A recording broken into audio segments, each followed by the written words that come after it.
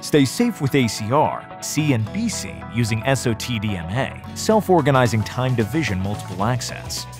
With a power output of 5 watts and transmitting up to every 5 seconds, this enhanced AIS mapping system is used by Class A and new generation Class B AIS transceivers. Introducing the ACR AISLink CB2 Class B AIS, with increased visibility to other vessels thanks to SOTDMA and an accurate 99-channel GPS receiver.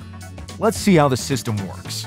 As our blue vessel, fitted with the ACR AISLink CB2, starts transmitting our GPS satellite position to other vessels, it starts to reserve space for future transmissions, allowing for more consistent communication.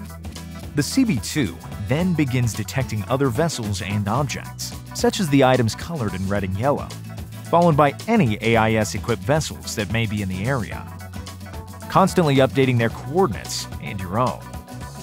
Managing the information flow between your vessel, the ocean, and surrounding objects, these complicated procedures are all completed by the advanced processing and signal technology of the CB2. The result is the reduction or complete elimination of transmission delay or loss, even in high-traffic areas. Compared to earlier CSTDMA systems, the ACR AISLink CB2 provides higher power output and superior reporting rates.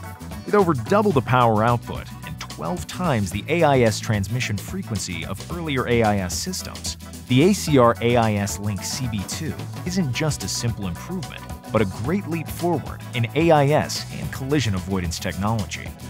If you want to know more about the AISLink CB2 Class B AIS transceiver and how ACR is pushing survival forward, please visit www.acrartex.com. Now shipping.